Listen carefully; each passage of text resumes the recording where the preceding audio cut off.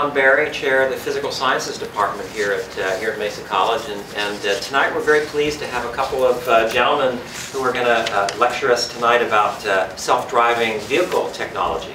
And they're here with Varden Labs, and Mr. Skupien was on the original design team who first came up with the, this uh, what maybe is the world's first uh, self-driving shuttle. Is that, is that the case? Pretty close. Okay, yeah. So we're going to hear about how the technology works tonight, then if you want to hang around for a few minutes after the lecture, my understanding it's not too long of a lecture, we'll actually go out and get to see the vehicle, and you'll get to uh, a chance to ride in the self-driving shuttle. So uh, please welcome uh, Mike Skupien. All right, hello everyone. Uh, so I'm, I'm Mike, uh, and I'm representing Varden Labs. And uh, um, as Don said, we make vehicles drive themselves. So uh, start off by a quote from a pretty well-known movie, The Social Network. Uh, the quote goes, a million dollars isn't cool. You know what's cool? A billion dollars. Well, self-driving is a 1.3 trillion dollar market. Uh, so that's a thousand billions, which is a significantly larger number um, than yeah, it's even fathomable. Um, so kind of going into self-driving, um, there's kind of four different classifications of vehicles um, that you can see on highways. So uh, there's kind of level zero self-driving, which we don't even bother showing. Um, that's kind of like there's zero technology into a vehicle. Um, basically, you have an engine, you have a, an accelerator pedal, you press the accelerator pedal, you go. Um, now, uh, each of these levels kind of corresponds to a different level of automation of uh, you know, vehicles and, and of self-driving vehicles. So starting with level one, there's basically like a single function has been automated in a vehicle. So that might be something like um, electronic um, braking, so or uh, ABS. So when you, uh, for example, are slipping on ice, you know, it'll, the computer will control um, the individual braking of all the wheels in order for you to come to a stop uh, sooner than you would have. Then there's level two where there are multiple functions that are interacting with one another.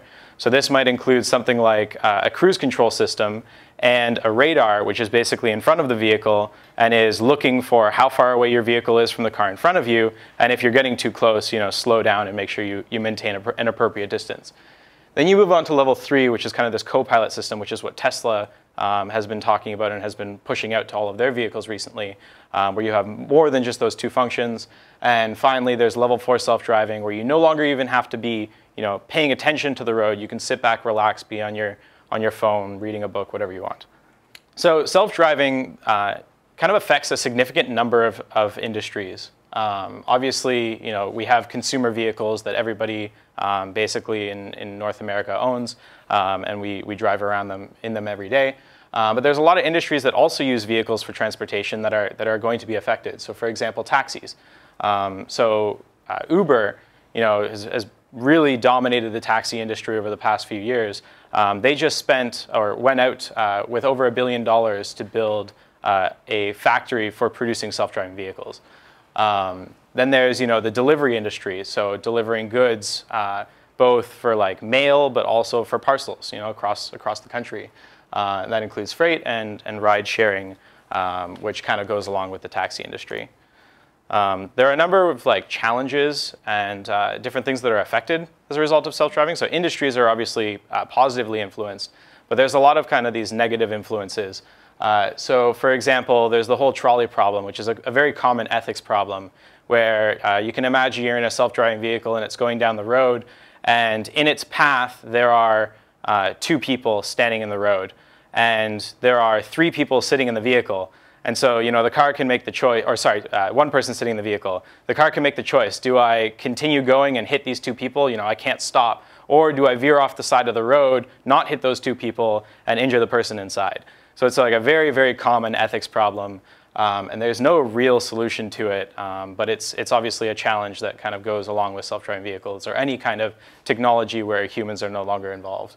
Uh, then there's the regulation. So on public roadways, self-driving vehicles aren't actually legal right now. Um, you can get a testing license where you have to have two people, uh, one in the driver's seat and one in the passenger seat, and they are always responsible for any accidents or anything that takes place. Um, but currently on public roads, you're not actually allowed to run without a driver. That's, however, different in the private industry, which is why uh, Varden Labs is actually tackling uh, in-campus transportation, which I'll get into further later. Um, then there's liabilities associated, so who's responsible? Is it the car manufacturer? Is it the um, technology manufacturer? There's a lot of kind of stuff up in the air there. And uh, obviously a lot of retraining. I mean, it's a completely, it, it would basically change the entire transportation industry. Um, so lots of, lots of people are affected by it. Um, so there are a number of players. I'm sure you guys have heard of Google. Uh, Tesla is, is obviously you know, working on their level three automation and, and hoping to get to level four. Um, there's been a lot of rumors about Apple working on it. Um, and Uber, as I mentioned, you know, raised a multi-billion dollar round, went over to Carnegie Mellon, the top computer science or programming school in the world, uh, bought out half of their robotics division, paid them seven-figure signing bonuses, and set up shop across the street. Uh, so Uber is, is trying very hard, and actually uh, another player most recently is, uh, you may have heard of the, the acquisition that GM recently made, uh, which was for uh, Cruise, which was a self-driving car company they acquired for over a billion dollars um, just last month. So here's Google's self-driving car. Um, you know, we see them running around all over the place uh, in the Bay Area where we're from. Uh, probably not a lot down here. This is Tesla's uh, Model S. Uh, there's Uber's self-driving car. There's only a couple photos of this guy. This is one of them circulating the internet. And uh, then there's us. so uh, yeah, we're Varden Labs, and we're also in the in the self-driving space, but in a slightly different niche. So um, this is kind of a, a spectrum of transportation. Um, you can see on the left there's you know a person, then you move on to kind of these uh, personalized transportation mediums like segways or uh, hoverboards recently. Then you can move up to bikes at you know, slightly higher speeds, again, still individual mobility. Um, and then kind of, I'll skip along us for a second, then you move on to public transportation, uh, and then eventually, you know, subway systems and even greater public transportation, and then eventually uh, the most free and easy mobility platform, which is your car. So we kind of sit right in the middle. We're trying to bridge the gap basically between um, human transportation or individual human transportation and kind of this public transportation system that we have. Um, kind of solving what's called the last mile problem. So bringing people from uh, public transportation hubs to their home. Uh, so that's kind of our end goal. And to get there, um, we're actually working on this vehicle. So he's sitting outside, and you'll be able to ride him. This is a video of him. Um, as you can see, there's nobody in the vehicle. It sees pedestrians. It stops for them. Um, here, the vehicle is going to come around, pick up a couple passengers, and be on its way. And you guys will have a ride, so I'm just going to skip over this. Um, so yeah, we're basically making this self-driving shuttle. So we're starting off in private campuses like this, where, um, as I said before, there's, there's uh, no regulation that basically prohibits us from running without a driver. Um, this is a fully electric uh, vehicle, self-driving.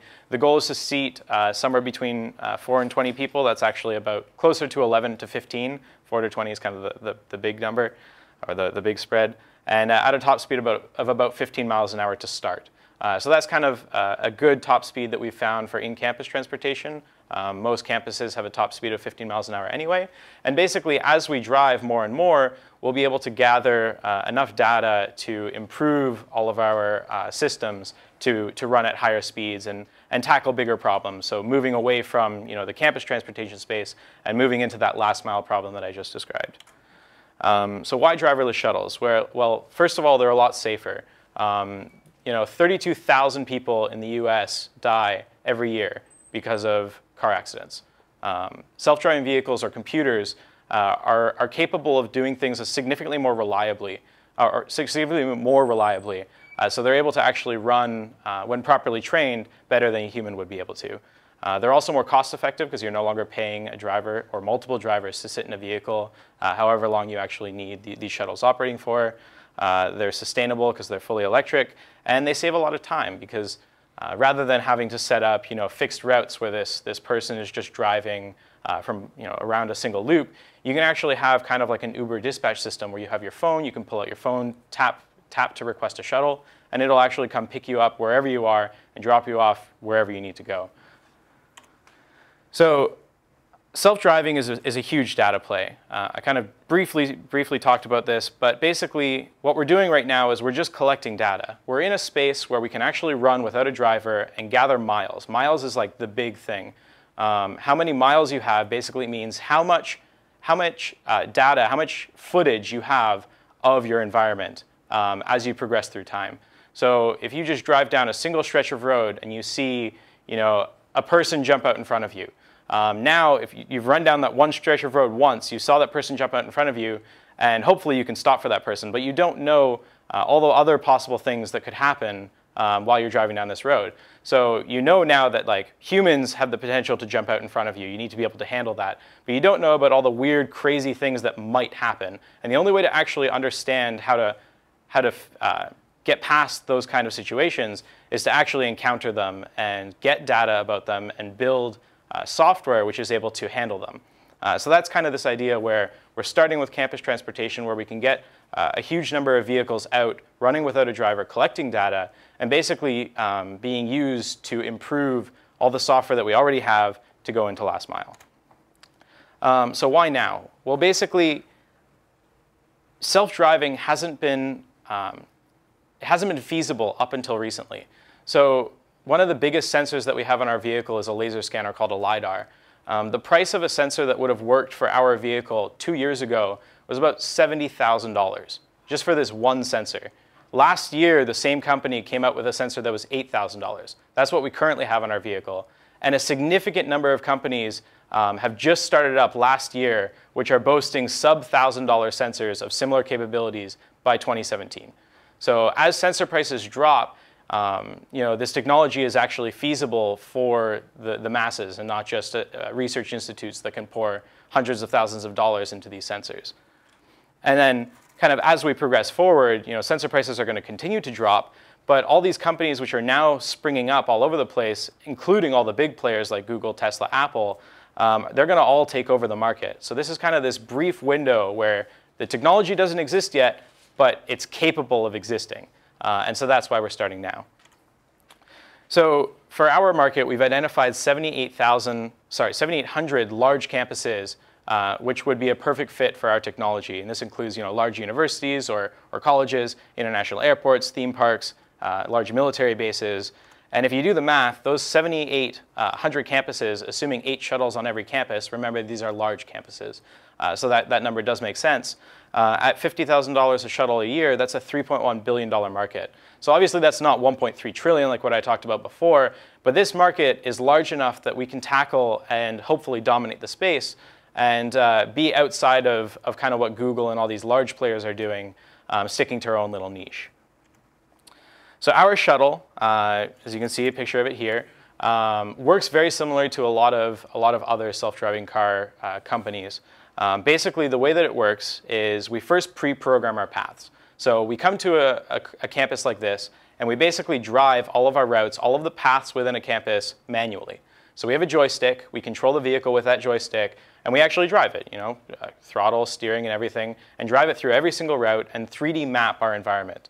And with that 3D map, we can actually figure out you know, where the roads are and where we're allowed to drive, and then in the future, know exactly how to navigate from any point on campus to any other point on campus. So I'll kind of get into a, a, little bit more, or I'll get into a little bit more depth in how the technology works.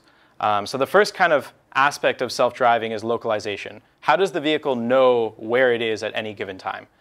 Um, so I mentioned before that we have this 3D laser scanner on the roof. Now, other sensors that we have include really high accuracy GPS, which, as you know, is, is good for figuring out where you are. Now, your phone GPS is only accurate to within about uh, 10 feet uh, anywhere on, in the world. The GPS that we have in our vehicle is accurate to within about an inch. Um, so we're able to actually drive with that GPS almost exclusively, um, which is kind of what enabled us to move so quickly. Now, one other technology that you can, that you can use uh, if you don't want to spend so much on a GPS unit, uh, which we're currently working on, is something called SLAM. Now, that's what this video is kind of showing. Um, basically, as this car is driving around this path, it's mapping its environment. And basically, as it maps, it's constantly um, adding in information as it drives into this three-dimensional map. Um, now, one of the problems with, with this technique is as you drive, um, your GPS like, although it's really accurate, um, it's not to the level of precision that you would need in order to create really, really high accuracy maps. Um, so what this video is demonstrating is a technology called SLAM. Um, basically, the way it works, it stands for simultaneous localization and mapping. Um, but the general principle works like this. So I'm standing over here, and I have this, this sensor which is able to produce a 3D scan of my environment. So I'm able to pick up a, a full 3D map of everything, all the chairs, all the people, all the walls. Now, if I take a scan here and then move one meter, and I take another scan, I can try to pick out key features of both of those scans, like for example, the location of walls, the location of uh, the roof or the chairs, and try to figure out how far away those two scans would have been based off of how far away all the objects in the scan are. Right? So if I'm standing here and I scan that chair, it's about two meters away. Take a step forward, now it's a meter away. If I do that for every object in the room, I can actually figure out how far I've moved. And that's what this video is demonstrating. So they're actually doing that technique where they're constantly looking at how far they've moved every single scan as they drive and create this full 3D map. Um, so this is, this is actually a video of our uh, original prototype uh, from about a year ago now. Uh, as you can see on the bottom, uh, bottom right side here, this is actually a top-down view of that 3D uh, data that we're getting. So you can see all these scans corresponds to scans across the ground. Uh, so each of these lines is basically showing the ground. And if you look closely, you can see me walking around here. So I'm kind of this abnormality. I'm actually showing up as a black square here. Uh, this is our software running on top of this 3D data, figuring out where objects are and picking out um, basically anything that's, that's uh, tall and, and, vertical shape, so like a car or a person or uh, a rock or a dog. And you can see when the, when the car here rounds the corner, it actually picks me up right here and I'm in its path, which is this green kind of oval that it's driving, and so it, it stops for me and, and waits until I get out of the way. So that's kind of the, the next step. So uh, rather than just knowing where you are, you also need to be able to avoid objects. So that's kind of showing uh, this object avoidance here. And obviously the last step, um, you know, it's great to have all these sensors and all the software, but you need some way of actually controlling a vehicle, um, right? It's, it's not just simulation anymore, it's actually real life. Uh, so these are kind of two pictures showing uh, some of the technology that went into actually making our, our vehicle drive itself. Uh, so we don't make our own car. We basically just take a car existing off the shelf and put uh, motors and actuators into that vehicle which enable a computer to control the systems. So you can see here, uh, this is kind of a, a very rough view of, of, our car. This is kind of the roof. This is the bottom chassis. It's kind of missing all the seats and everything in the middle. Um, but you can see here, this is the steering system, this is the brake, uh, this is an emergency brake system, and you can see uh, a GPS antenna on the roof there. And then this guy here is just a picture of our electrical system, which is all kind of tucked away inside the nose of the vehicle, uh, hidden from view. So yeah, that's kind of uh, a, a, view of, of self-driving and of our technology. Um, we're Varden Labs, uh, and our vehicle is outside, so if you guys uh, are up for it, um, we've kind of made a little path around around uh, the courtyard here that we'd love to take you for, take you for a ride in. Ah, yes, questions. So what about the, the loading and unloading of the vehicle? What type of sensors and electronics are involved in that? Yeah, so everything that we've done to this point has been just surrounding kind of the core self-driving aspect of the vehicle. Um, it's great to think about all these, all these methods of user interaction and interface and all of that, but until you have a self-driving car that works, um, you know, that, that should be the primary focus. Um, so we haven't done any kind of uh, development into those kind of systems, but the general principle works like this. Um, you would basically, everybody has, or most people now have a smartphone, um, so everybody within a campus would have an app on their smartphone which allows them to interact with the vehicle and control the vehicle with their own phone. Um, now in addition to that, there's going to be a touch screen basically in the vehicle which allows people to uh, punch in where they want to go um, and uh, whether or not they want to get off you know, mid-route. Um, so that enables them to control the vehicle. And uh, in terms of sensors to basically monitor the people inside the vehicle and around the vehicle, um, we're basically going to have cameras all the way around the vehicle, which allow us to see where people are. And so if, for example, somebody calls a shuttle, it appears, and then they're busy talking to their colleague right beside, you know, for five minutes, which is you know, long enough that the vehicle's like, oh, I guess nobody's coming, let's, let's drive away. Those cameras will allow the vehicle to see those people, know that they're waiting to get in the vehicle, and uh, wait for them instead of, instead of driving away. And then in addition to that, uh, basically sensors that um, will only allow the vehicle to start when all the doors are closed and uh, when all the seatbelts are fastened for everybody that's sitting. Yeah. How long would the how long would the upgrade period be? So like like you're seeing that the technology is getting old. When would you replace it? Um, so that's a very good question. Uh, it really depends on the state of, of uh, how far along the technology is, uh, because it, it's moving so quickly. Like right now in the early stages, things are being replaced every six months basically. Um, and there's no real stability because things are just getting so much better that it doesn't make any sense to use the old technology. Um, so like that laser scanner that I talked about, um, you know, if, if somebody had developed on technology that was two years old now, um, they would be spending $70,000 when they could have been spending like five. Um, so it doesn't really make sense. So in, in this infancy, we're seeing like a year, six months to a year turnaround time.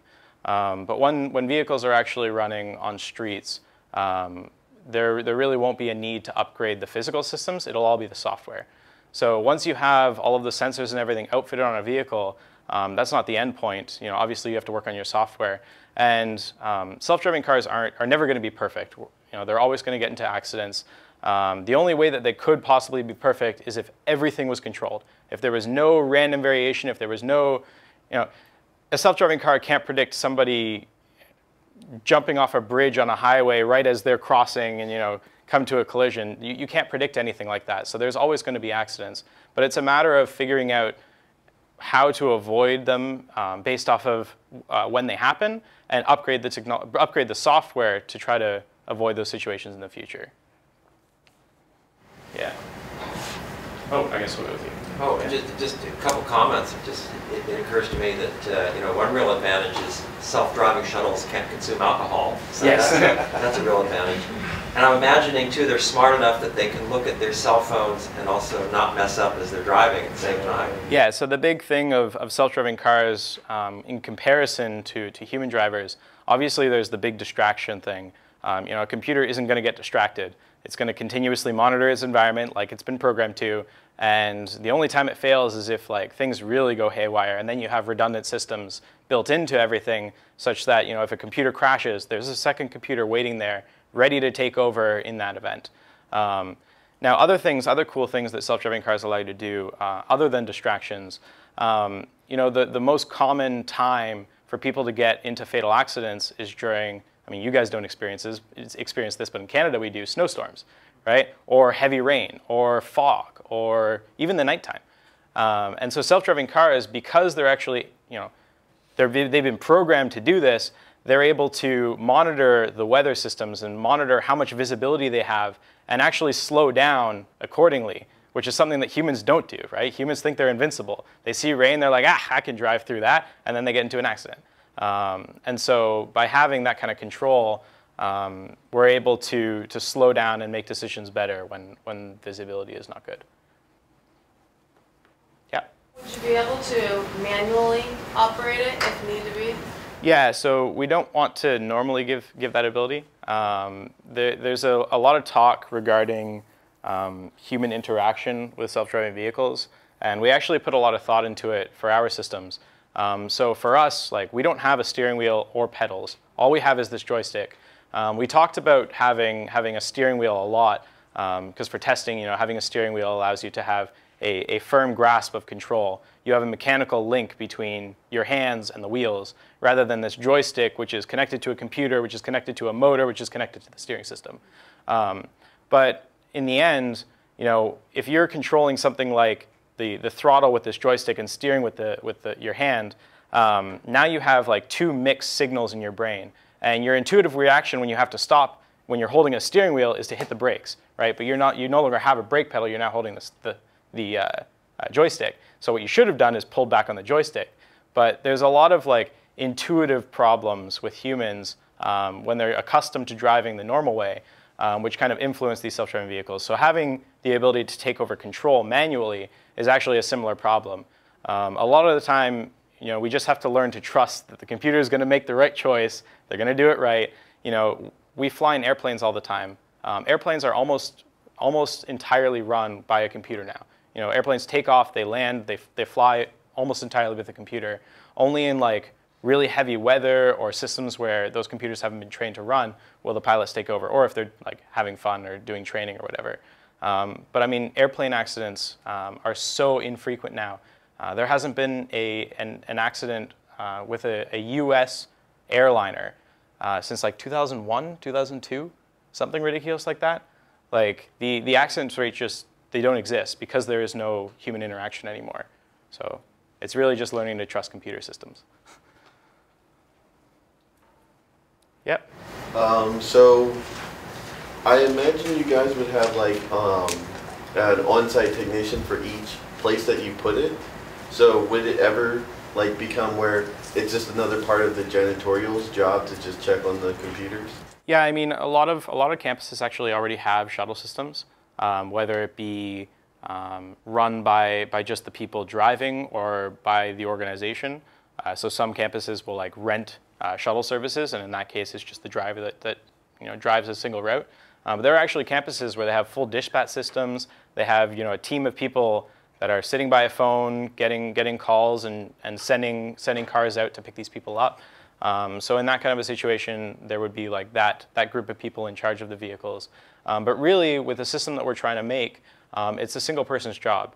Um, basically, with a single, with a single uh, like iPad tablet, they're able to monitor their entire fleet, dispatch vehicles if they ever need to, monitor all the vehicles, and the vehicles will, will self-charge, they'll drive themselves, um, so there won't really be um, any, any major human interaction anymore. It's kind of like we come in, we install the system, and we leave, and everything will just work. Um, but in the off chance that it doesn't, um, we're always going to be monitoring the systems. Our plan is never to actually sell the vehicles, mainly to, to lease them kind of a, as a software as a service kind of, kind of model, where you're, you're giving this service and you're still in control of everything. Um, if a vehicle were to malfunction, you could always bring in a new vehicle, swap it out, um, malfunction in a good way. Hopefully all, all our redundant systems you know, will keep everybody safe um, and also monitoring um, for if the vehicle gets stuck. So one of the big problems with self-driving vehicles, uh, for us anyway, is not the safety aspect. Um, the safety can be solved with a lot of redundant systems. But the big thing is being able to handle all the different possible situations that you might encounter.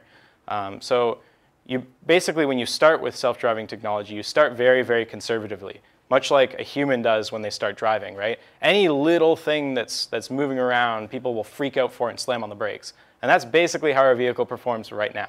Um, so any little thing that's wrong and the vehicle will just come to a stop because it doesn't know how to handle it, it doesn't want to make a mistake, so stopping is just the right thing to do.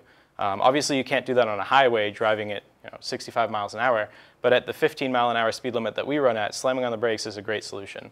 Um, so uh, basically being able to um, take the information from when a vehicle stopped and doesn't know how to proceed, send that back to us and be able to like remotely control the vehicles is basically how we're solving any kind of um, interaction problems. Well, so you have a camera system for obstacle detection, Mm-hmm. uh, clearly. What's the resolution of that? If you, if you have a small animal in front, is it going to catch that as well? Yeah, so it's, it's not actually a camera system. Um, it's called a LiDAR. The way it works is basically there's 16 lasers um, that spin 20 times a second.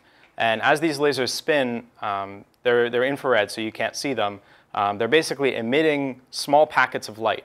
And they measure, they, they actually, like, they send out that light, and light takes time to travel. You don't see it, it happens extremely quickly. But it, it actually is able to measure the amount of time that it takes for that light to run off, bounce off of an object, and come back to the sensor. And based off of that time and knowing what the speed of light is, you can actually calculate how far away that object was. And so um, these 16 lasers spin 20 times a second, and as they spin, they're constantly firing off packets of light and measuring the amount of time that it takes for it to come back, uh, about 300,000 times a second. Um, so the resolution is technically 300,000 points a second, um, spinning 20, 20 times a second.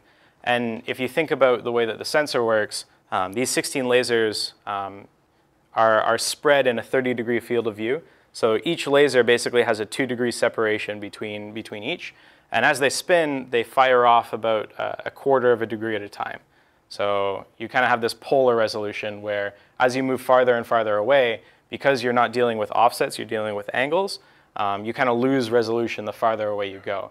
So we can only really see something the shape of like a dog, uh, but 20 meters away.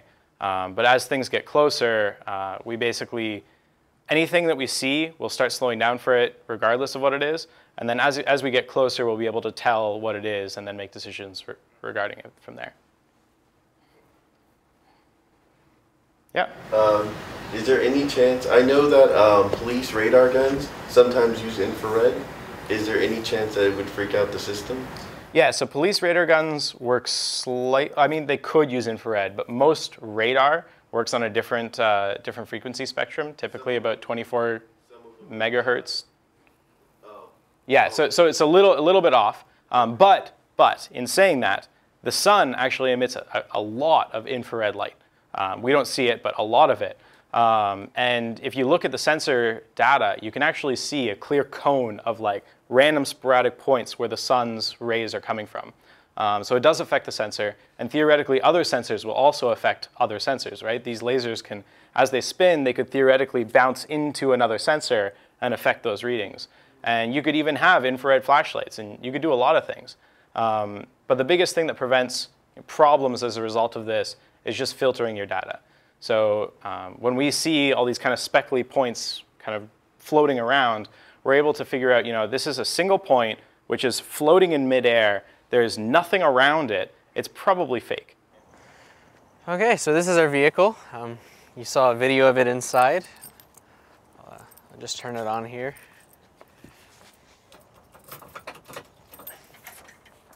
Yeah, so Mike was saying um, indoors that there are two main technologies to make this work. Um, and they're pretty much on the roof here. We've got a high accuracy GPS and a LiDAR.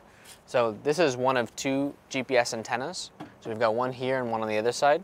And that gives us a really precise position and orientation because we have two of them. Um, in addition to that, we've got the LiDAR there. That's the, the puck thing.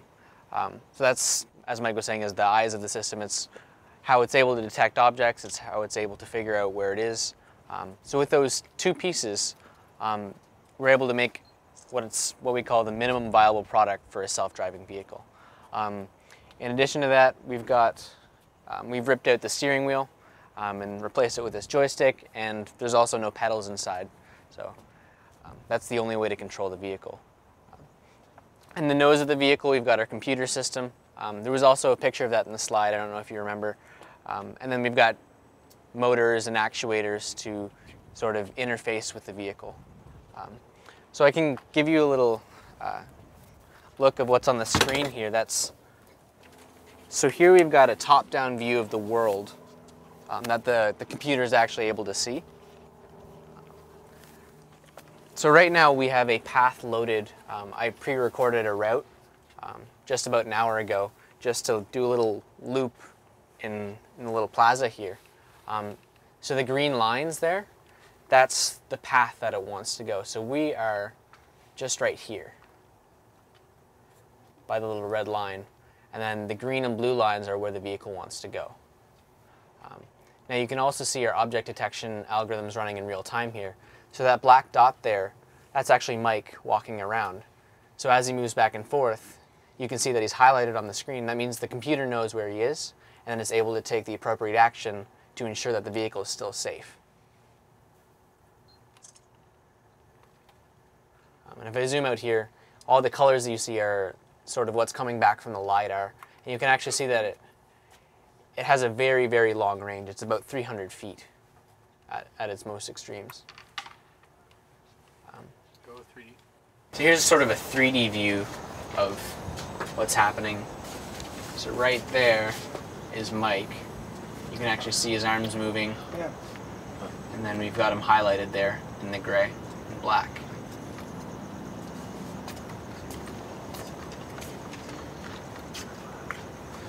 So I mean, we could probably just uh, run it now. Yeah. Are you hooked up to the back the front? Back. All right. So uh, on the back here, we've got a few buttons. Uh, just going to give a rundown. So um, rather than running without a driver, um, we kind of try to keep everything a little bit safer as we're in testing and development.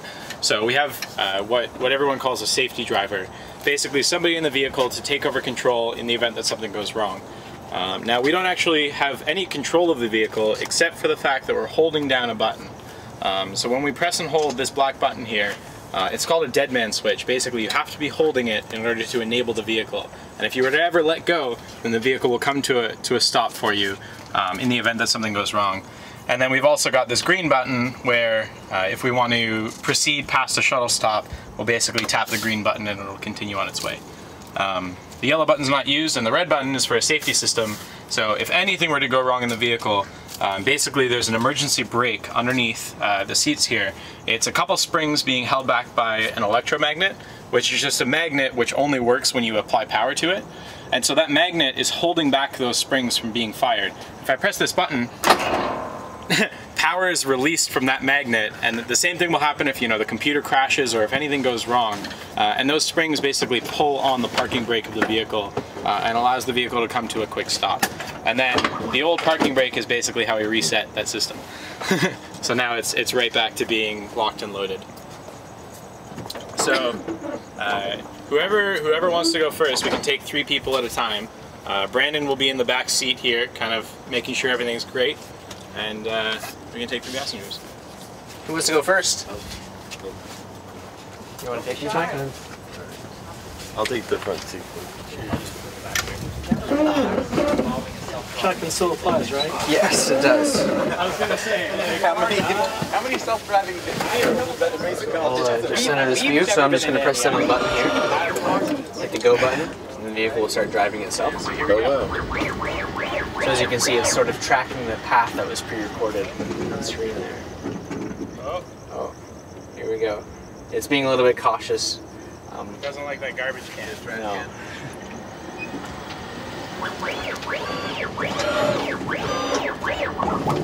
So he showed up as the black dot there on the screen.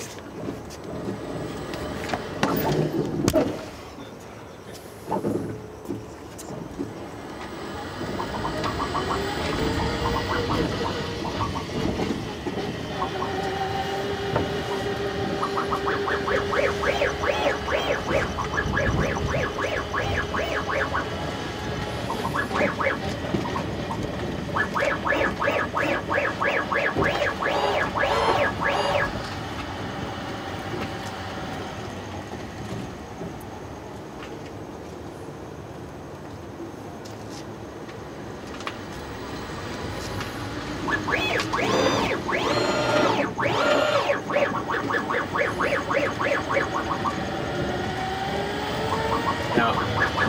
look on the screen there, you can see the white dots. That's the uh, the trees that it sees. So it's recognizing that that's something that it doesn't have to take into account as it drives by. Is it because it's higher up? Yes, because. So now, if you look on screen there, they're actually in our path. So it's sort of just waiting for them. What's that noise that's, um, That's the motor that we have that's right where the steering wheel used to be. And then we pre-programmed to stop right here. Oh, nice. Those are the, uh, at its best. Now with with the whole SLAM system where you're using your 3D data, you can get to within like a quarter of an inch Wow. accuracy.